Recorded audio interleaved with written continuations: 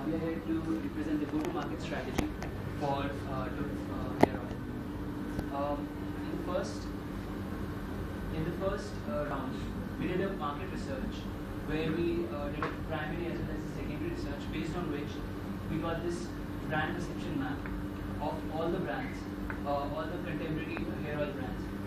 And in this one, the one of the axes represents the quality, the other represents the price, and the um, the diameter of the circles represents the number of people who have used these products. So it uh, in, indirectly represents the popularity.